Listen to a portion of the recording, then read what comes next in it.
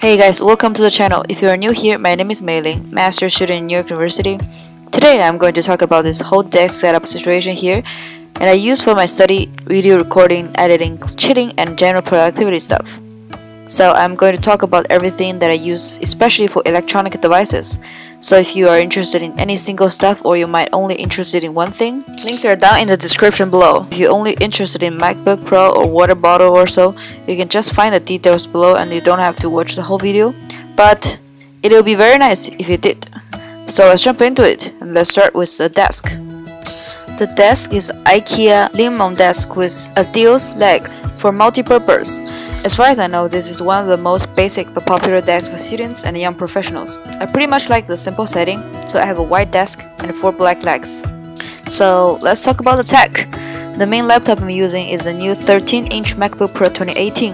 It's got the 256GB storage and a very nice Retina display. The MacBook is connected with a USB-C hub with my wired mouse.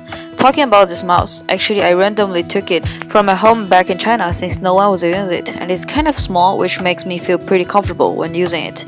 I have been using it for one and a half years and I'm thinking about to get a new wireless one uh, since I want to make my stuff more wireless if possible.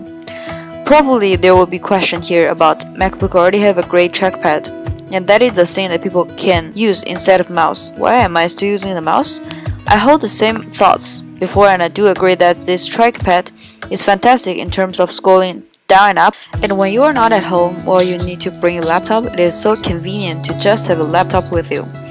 But when the time comes to video editing it is really hard for me to just use trackpad to control everything but a mouse will make everything much easier.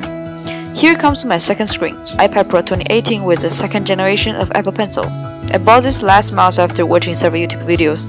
The reviews introduced this fantastic beast. I really think this iPad Pro 2018 is a beast without any doubt.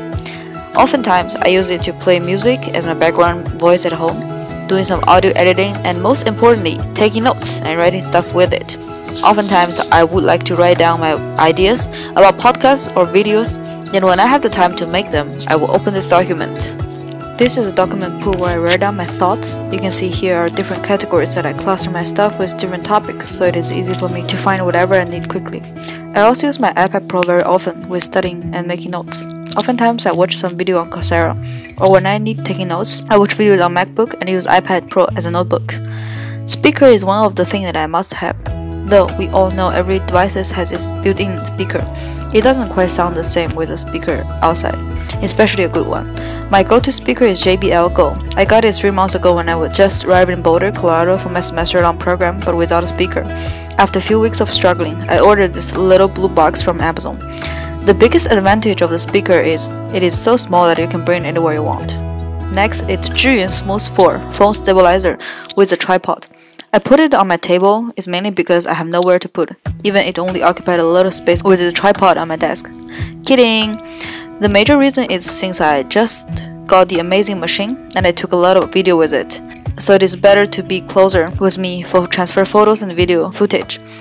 I think I might going to make a video about this fantastic stabilizer, but I have to say this is one of the worthiest purchase in my 2018. It brings me so much fun and some of the footages in the video is also come from the help with stabilizer.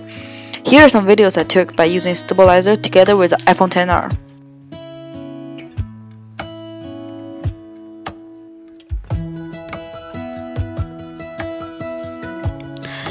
Here, I also have my major camera with my desk, Sony a6000 with Joby Gorilla Pod. I oftentimes put it here for recording. Sometimes I use it to record myself, such as the series of Study With Me. Here are two wireless earphones that I often use. AirPod, perfect for any condition, and AirPods can rank as my second favorite Apple product. And one more is a wireless earphone from Urban Ears. One thing I really like this wireless earphone is because it has magnitude here that I can easily attach both together when I don't listen to music. Also in the same time I can just keep it on my neck safely, maybe also as a decoration. I have all my wires on the carpet, which makes my desk looks better and minimalism. One for my phone and one for iPad. Since iPad has the same wire with MacBook Pro, so I can use one wire for both. I also have this nice little patch panel, which has a very nice design two USB connections and several plugs for other necessaries. except from all these heavy tech gears. I also have my cutest mini avocado doll with me. It is just so so cute that I have to bring it with me everywhere, and I will be so happy every time I see its cute smile face. So this is my simple desk setup 2018. Hope you liked it. If you like it, please give a thumb up. If you haven't subscribed, please consider doing so. Have a lovely evening. I will see you in the next video. Bye bye.